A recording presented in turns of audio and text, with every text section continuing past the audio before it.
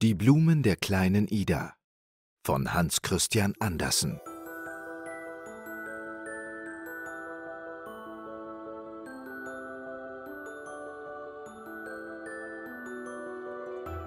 Meine armen Blumen sind ganz verwelkt, sagte die kleine Ida. Gestern Abend waren sie noch so schön, und nun hängen die Blätter vertrocknet da. Woher kommt denn das? Fragte sie den Studenten, der auf dem Sofa saß. Die kleine Ida hatte den Studenten sehr lieb, denn er wusste die allerschönsten Geschichten und schnitt ihr so drollige Bilder aus. Herzen mit kleinen Damen darin, die tanzten. Blumen und große Schlösser, deren Türen man aufmachen konnte. Ja, er war ein sehr lustiger Student. Warum sehen denn die Blumen heute so krank aus? Fragte sie wieder und zeigte ihm einen ganz verwelkten Strauß. Soll ich dir sagen, was ihnen fehlt? erwiderte der Student. Die Blumen sind heute Nacht auf dem Ball gewesen, und nun haben sie einen Katzenjammer. Aber die Blumen können ja nicht tanzen, sagte die kleine Ida. Doch, sagte der Student. Wenn es dunkel ist und wir Menschen schlafen, dann springen sie lustig umher. Fast jede Nacht halten sie einen Ball. Können nicht auch Kinder auf diesen Ball kommen? Oh, freilich, sagte der Student. Kleine Gänseblümchen und Maiglöckchen. Wo tanzen denn die schönsten Blumen? fragte Ida. Du bist doch schon öfters vor dem Tore an dem großen Schlosse gewesen wo der König im Sommer wohnt, dort, wo der herrliche Garten mit den vielen Blumen ist. Weißt du, wo die Schwäne sind, die zu dir herschwimmen, wenn du ihnen Brotkrümchen geben willst? Dort draußen ist der große Ball. Du darfst es glauben. Ich war gestern mit meiner Mutter da draußen, sagte Ida. Aber auf den Bäumen waren keine Blätter mehr, und es waren auch gar keine Blumen mehr da. Wo sind diese hingekommen? Im Sommer sah ich doch so viele. Sie sind jetzt alle drinnen im Schlosse, sagte der Student. Sobald nämlich der König und die Hofleute in die Stadt ziehen, laufen gleich die Blumen aus dem Garten ins Schloss hinein und sind dort lustig und guter Dinge. Das solltest du nur einmal sehen.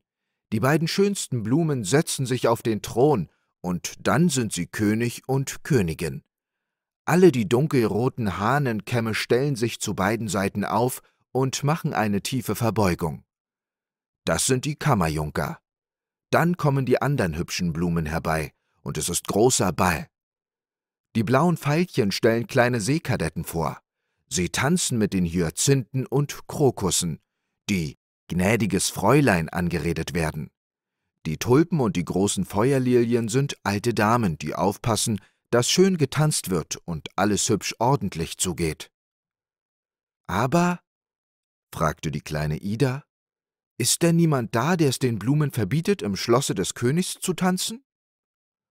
Es weiß eigentlich niemand etwas davon, sagte der Student. Bisweilen kommt allerdings der alte Schlossverwalter, der dort draußen die Aufsicht führen soll. Er hat ein großes Bund Schlüssel bei sich, aber sobald die Blumen die Schlüssel rasseln hören, sind sie mäuschenstill, verstecken sich rasch hinter Gardinen und stecken nur noch die Köpfe hervor. Es müssen Blumen in der Nähe sein, sagte dann der alte Schlossvater. Ich rieche es wohl, aber ich sehe nichts davon. Das ist ja herrlich, sagte die kleine Ida und klatschte in die Hände. Könnte ich die Blumen nicht auch einmal sehen? Doch, sagte der Student. Wenn du wieder hinauskommst, vergiss nicht durch das Fenster hineinzuschauen, dann wirst du sie schon sehen. Ich habe es erst heute Morgen getan, da lag eine lange gelbe Lilie auf dem Sofa und streckte sich. Das war eine Hofdame. Könnten die Blumen aus dem botanischen Garten auch dorthin kommen? Das wäre doch ein sehr weiter Weg. Oh, freilich, sagte der Student. Sie können sogar fliegen, wenn Sie Lust dazu haben. Hast du nicht auch schon die bunten Schmetterlinge gesehen? Sie sehen fast wie Blumen aus und sind auch Blumen.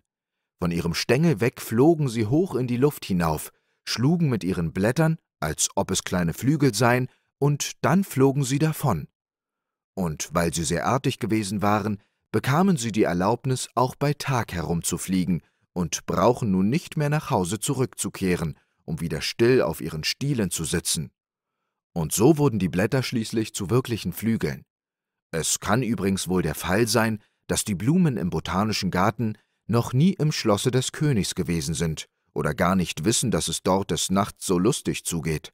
Darum will ich dir etwas sagen, worüber der Professor, der hier nebenan wohnt, du kennst ihn ja, sich sehr verwundern würde.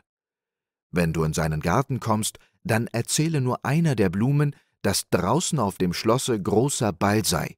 Die sagt es dann den andern, und dann fliegen sie alle fort. Wenn nun der Professor wieder in seinen Garten hinauskommt, so ist nicht eine einzige Blume mehr da, und er kann gar nicht begreifen, was aus ihnen geworden ist. Wie kann denn aber die eine Blume der andern dies erzählen? Die Blumen können doch nicht sprechen. Allerdings nicht, erwiderte der Student. Sie verständigen sich eben durch Zeichen. Hast du nicht schon oft gesehen, wie die Blumen, wenn ein Lüftchen geht, sich zunicken und alle ihre Blätter bewegen? Das ist für sie ebenso deutlich, als wenn wir miteinander sprechen. Kann der Professor die Zeichen auch verstehen? fragte Ida. Jawohl. Eines Morgens kam er in seinen Garten und sah eine große Brennnessel, die einer schönen großen Nelke mit ihren Blättern ein Zeichen machte. Sie wollte damit sagen, Du bist gar so niedlich und ich habe dich innig lieb. Aber dergleichen kann der Professor durchaus nicht leiden. Er schlug die Brennnessel sogleich auf ihre Blätter, denn das sind ihre Finger.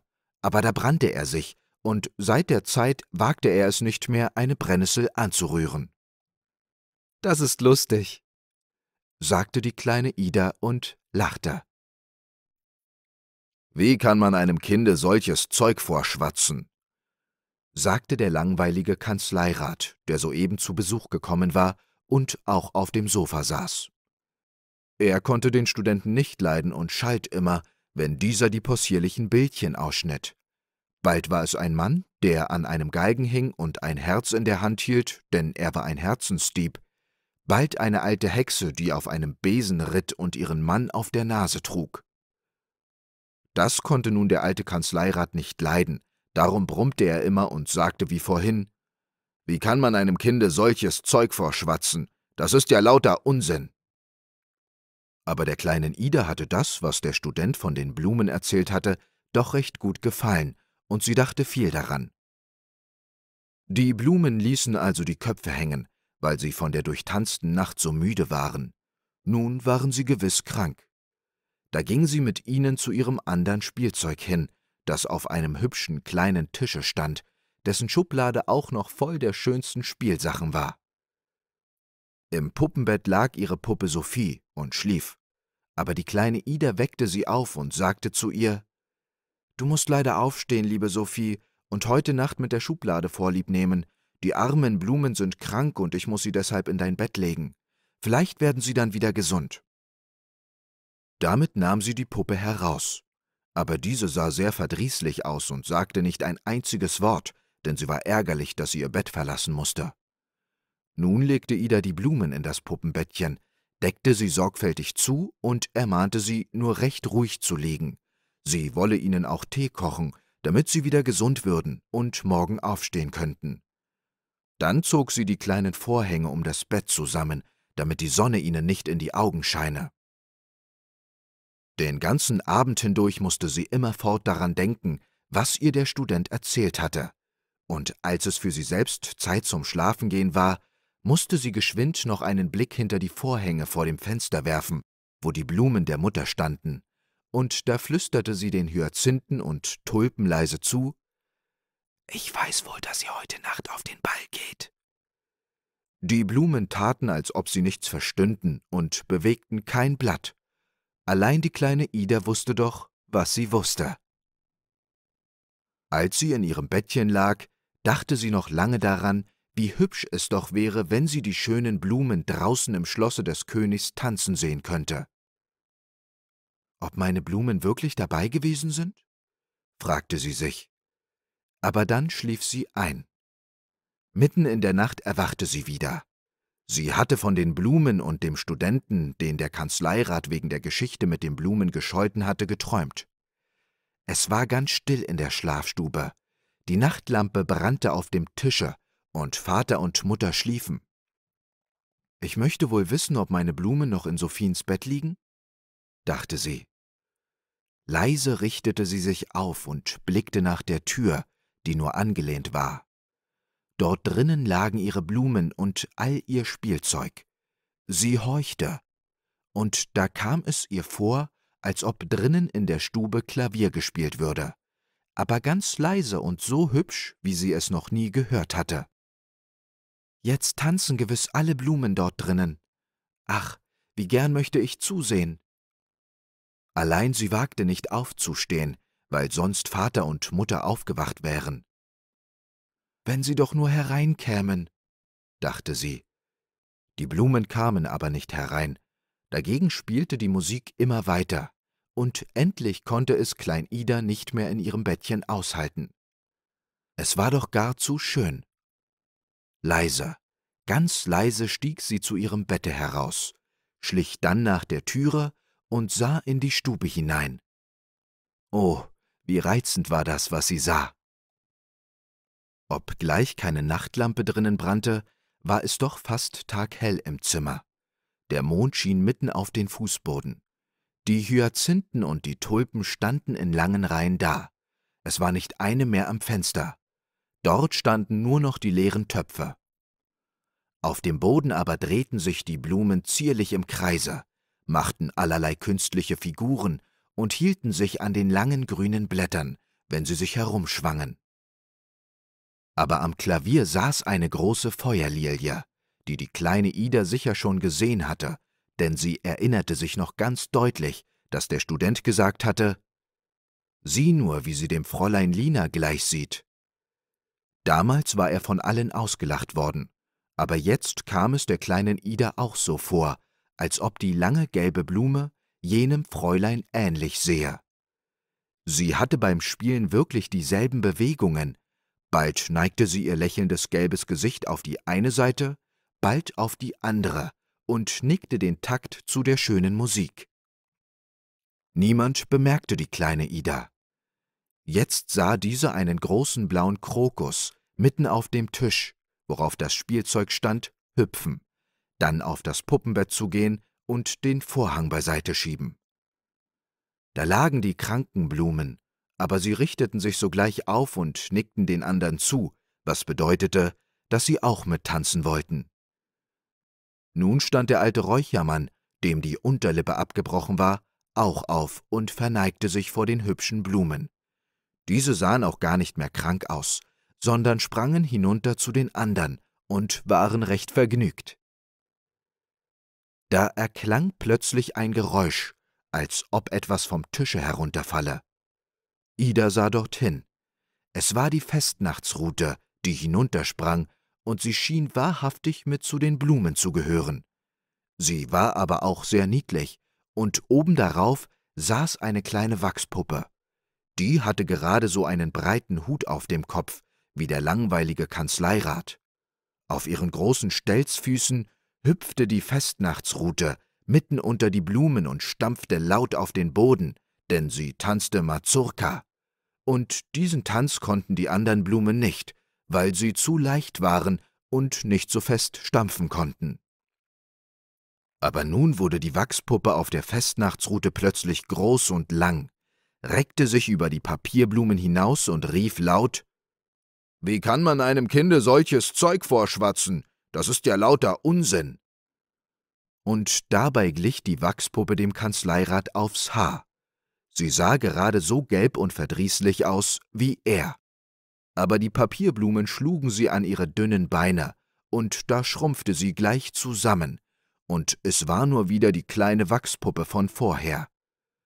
Das war ein lustiger Anblick. Die kleine Ida konnte das Lachen nicht unterdrücken. Die Festnachtsrute aber fuhr unverdrossen fort zu tanzen, und der Kanzleirat musste mittanzen. Es half alles nichts, ob er sich groß und lang machte oder ob er die kleine gelbe Wachspuppe mit dem großen schwarzen Hute blieb. Endlich legten die andern Blumen ein gutes Wort für ihn ein, besonders diejenigen, welche im Puppenbett gelegen hatten, und so ließ die Festnachtsrute die arme Puppe endlich in Ruhe. Da pochte es plötzlich ganz laut drinnen in der Schublade, wo die Puppe Sophie bei dem andern Spielzeug lag. Rasch lief der Räuchermann bis an den Rand des Tisches, legte sich der Länge nach auf die Tischplatte und zog die Schublade ein wenig heraus. Da richtete sich Sophie ganz verwundert auf. Hier ist ja Ball, sagte sie. Warum hat mir das niemand gesagt? Willst du mit mir tanzen? fragte der Räuchermann. Pa, du wärst ein schöner Tänzer, antwortete sie und wandte ihm den Rücken zu. Sie setzte sich auf die Schublade und dachte, es werde wohl eine der Blumen kommen und sie auffordern. Aber es kam keiner. Da räusperte sie sich. Aber es kam immer noch keiner. Der Räuchermann tanzte nun allein, und das gar nicht übel. Als nun keine der Blumen Sophie zu bemerken schien, ließ sie sich plötzlich von der Schublade auf den Boden hinunterfallen, so dass es ordentlich klatschte. Und nun liefen alle Blumen rasch herbei und fragten, ob sie sich wehgetan habe, und waren überhaupt sehr aufmerksam gegen sie, ganz besonders die Blumen, die in ihrem Bette gelegen hatten. Aber Sophie hatte sich gar nicht wehgetan, und nun bedankten sich Idas Blumen für das schöne Bett, und da sie ihr auch gern etwas zulieb tun wollten, führten sie sie mitten in die Stube, wo der Mond schien, und tanzten mit ihr, während alle anderen einen Kreis um sie bildeten und zusahen. Nun war Sophie vergnügt und sagte zu den Blumen, sie möchten ihr Bett nur behalten, sie lege ebenso gerne in der Schublade. Aber die Blumen erwiderten, wir danken dir recht herzlich für dein freundliches Anerbieten, allein unser Leben ist sehr kurz, morgen sind wir schon tot. Aber bitte sage der kleinen Ida, sie möge uns draußen im Garten neben den kleinen Kanarienvogel begraben, dann wachen wir im Frühjahr wieder auf und werden noch viel schöner als jetzt. Nein, nein, ihr dürft nicht sterben, sagte Sophie und küsste die Blumen. Da ging plötzlich die Zimmertüre auf, und eine Menge wunderschöner Blumen kam tanzend herein. Ida konnte gar nicht begreifen, wo sie alle herkamen, aber sie dachte, das sind gewiss alle Blumen draußen vom Schlosse des Königs. Voran gingen zwei prächtige Rosen, die hatten kleine goldene Kronen auf, das war der König und die Königin. Dann kamen wunderhübsche Levkojen und Nelken, die nach allen Seiten hin grüßten. Sie hatten Musik bei sich. Große Mohnblumen und Päonien bliesen auf Erbsenschoten, so dass sie ganz rot im Gesicht wurden. Die blauen Glockenblumen und die weißen Schneeglöckchen läuteten mit ihren Blüten, als ob es wirkliche Glocken seien. Es war eine merkwürdige Musikkapelle. Dann kamen noch viele andere Blumen, und alle tanzten nach Herzenslust. Die blauen Veilchen und die roten Tausendschönchen, die Gänseblümchen und die Maiglöckchen, und alle Blumen küssten einander. Es war ein reizender Anblick. Zuletzt sagten die Blumen einander Gute Nacht, und dann schlich auch die kleine Ida wieder in ihr Bett, wo sie von all dem, was sie gesehen hatte, träumte. Am nächsten Morgen eilte sie zuerst an ihren kleinen Tisch, um zu sehen, ob die Blumen noch da seien. Sie zog den Vorhang von dem Puppenbett zur Seite. Da lagen sie allerdings, aber ganz verwelkt, noch viel mehr als gestern. Sophie aber lag in der Schublade, gerade so, wie sie Ida gestern hingelegt hatte, und sah sehr schläfrig aus. Weißt du noch, was du mir sagen sollst? fragte die kleine Ida. Aber Sophie sah blöd aus und sagte nicht ein einziges Wort. Du bist gar nicht lieb, sagte Ida, und sie haben doch alle mit dir getanzt. Dann nahm sie eine kleine Pappschachtel, die mit niedlichen Vögeln bemalt war, und legte die toten Blumen hinein. Das ist ein hübscher Sarg für euch, sagte sie. Und wenn heute die Vettern aus Norwegen kommen, dann müssen sie mir helfen, euch draußen im Garten zu begraben, damit ihr im nächsten Sommer wieder wachsen könnet und noch schöner werdet als dieses Jahr. Die Vettern aus Norwegen waren zwei frische Knaben namens Jonas und Adolf. Ihr Vater hatte jedem eine neue Armbrust geschenkt, die sie mitgebracht hatten, um sie Ida zu zeigen. Diese erzählte ihnen nun von den armen Blumen, die gestorben waren, und dann wurde das Begräbnis gehalten. Die beiden Knaben gingen mit der Armbrust auf der Schulter voran, und die kleine Ida folgte mit den toten Blumen in der hübschen Schachtel. Draußen im Garten wurde ein kleines Grab gegraben. Ida küsste zuerst noch die Blumen und legte sie dann in der Schachtel in die Erde. Adolf und Jonas schossen mit den Armbrüsten über das Grab, denn Gewehre und Kanonen hatten sie nicht.